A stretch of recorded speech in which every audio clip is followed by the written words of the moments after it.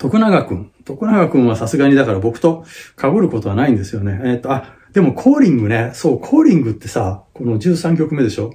これね、ベースね、僕とね、徳永くんと二人クレジットされてるでしょ？これね、おそらく僕は、僕のベースラインは感想だけだと思う。どっちが先弾いたのかわかんない。徳永くんが弾いて僕が後で弾いたのかな。僕が最初に弾いて徳永くんが弾いたのかな。よくわかんないや。なんかわかんないけど、確かなんか製品聞いた時に、あ、ここは僕のフレーズで、あ、僕が最初に弾いたのかなで、それを真似して、あれ？徳永、あれ？わかんない。もうわかんないけど、なんかね、その、えっと、一曲の中で、そのパート、パート、パートで、僕のベースと徳永君のベースとなんか分かれてます。